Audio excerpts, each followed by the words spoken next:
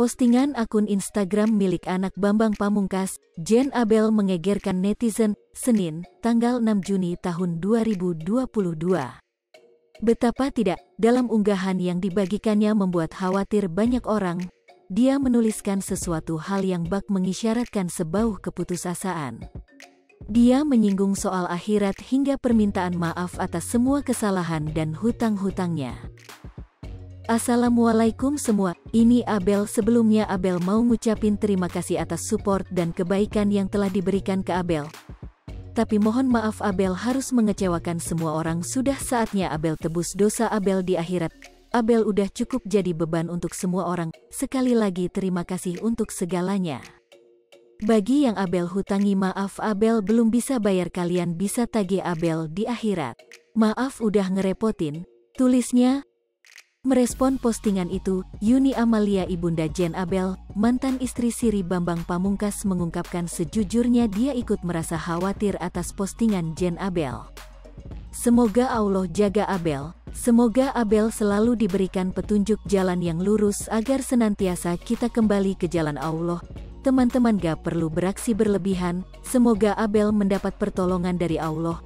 Apa yang menjadi kerisauan di hati Abel bisa mendapat jawaban dari Allah, karena setiap orang pasti punya kerisauan dan cobaannya masing-masing, ujarnya.